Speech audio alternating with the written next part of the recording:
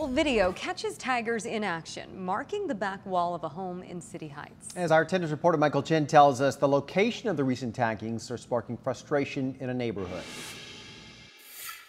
Just off Euclid Avenue, a church, an elementary school, and a site It's sad. Leanne Montano has seen before. It's sad that they're destroying somebody else's property. Surveillance video shows what unfolded just down the street. Just before 2 a.m., a light flashes, but these guys are undeterred. With another person and a person on a bike nearby, someone in a cap and hoodie casually begins spray painting the back of the home.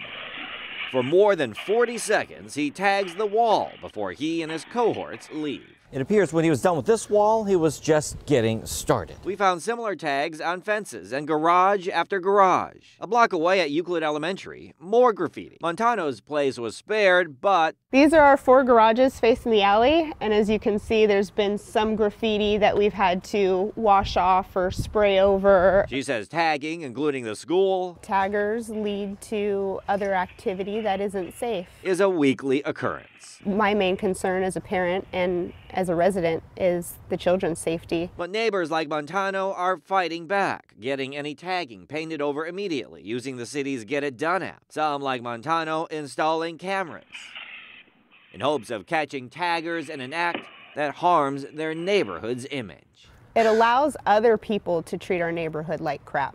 If we don't take pride in our neighborhood, who else is going to? Michael Chen, 10 News. Well, the city of San Diego offers rewards up to $500 for the arrest and conviction of graffiti vandals. If you would like more information, there is a link on 10news.com. Just click on the red television button.